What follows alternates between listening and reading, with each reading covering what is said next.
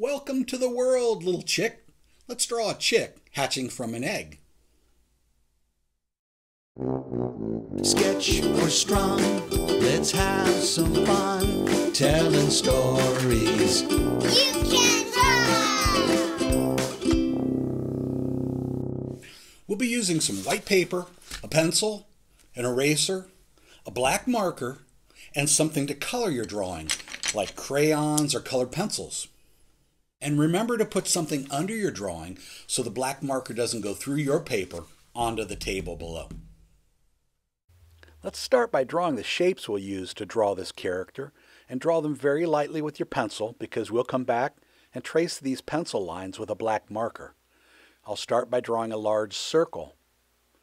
Just a big round circle. Don't worry if it's not a perfect circle. And then I'll draw a line right through the middle from left to right. So you have a top half and a bottom half. On the top half of that big circle, I'll put a smaller circle and that will be the little chick's head. And then two little lines which will be the bird's body. Then in the middle of the little chick's head, I'll put a little triangle which is the chick's beak. And then on top of the little chick's head, I put three little circles lined up across the top of its head. Two little dot eyes on each side of the little triangle beak, and those are the shapes we'll use to create the little chick hatching from an egg. If your shapes look kind of like these, then you're ready to go to the next step, and that is to pick up your black marker and trace the pencil lines. I'll start by tracing the little circle which is the chick's head. And I'll come down and add the two little lines which is the chick's body.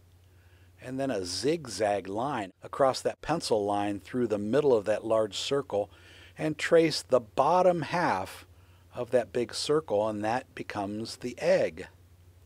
I'll go back up to the chick's head and trace the triangle which is the beak and some two little dots for eyes and then on top of the little chick's head, those three little bumps.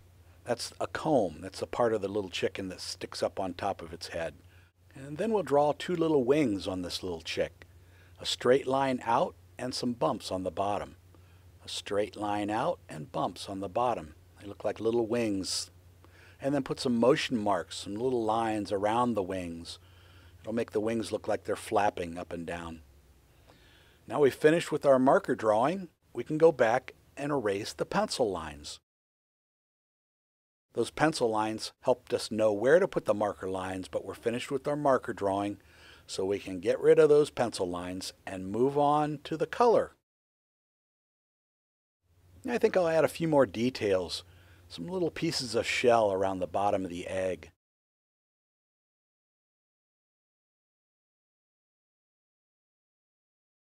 Details can really be important in your storytelling. Now it looks like the chick has just hatched from the egg. And if you want to make this a blue bird or a red bird instead of a chick, you can make that little part on its head a hat or some feathers and just add your own color. I'll speed up this part of the video. You'll get an idea of how I colored the little chick hatching from the egg. Have fun!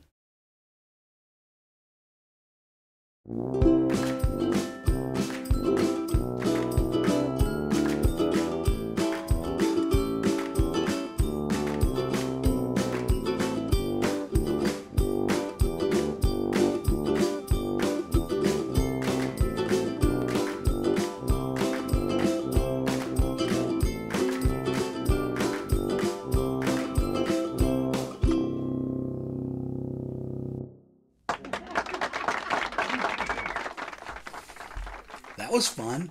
A little chick hatching from an egg. That's a great character for a story. What's the first thing little chick sees after it hatches? Hmm. You could make a story. What would your story be?